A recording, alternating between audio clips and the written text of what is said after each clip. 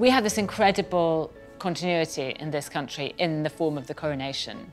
Other countries still have a monarchy, but very, very few have a medieval, in fact, none has a medieval coronation in the way that we do, and that we have a collection of uh, regalia that is used for that um, is, is, is, is astonishing.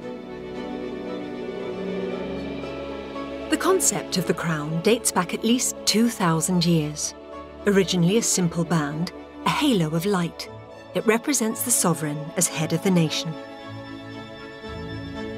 Then there are the other sacred items in the collection that throughout the ceremony symbolise different aspects of the monarch's powers.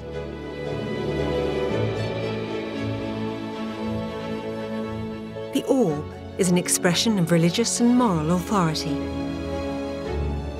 The sceptre embodies power.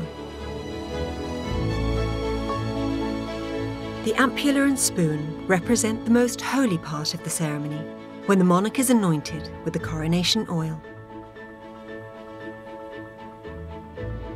And the sovereign's ring, known by some as the wedding ring of England, symbolises the lifetime commitment of the monarch. It's an amazing thing to see these objects, which in a way are very familiar to people from afar, but to see them up close like this, actually that proximity is extraordinary because you can really appreciate what astonishing objects they are.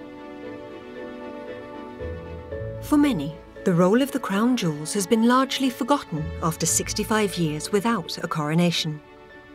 They're not just objects of tremendous beauty and, and, and skill and craftsmanship and so on.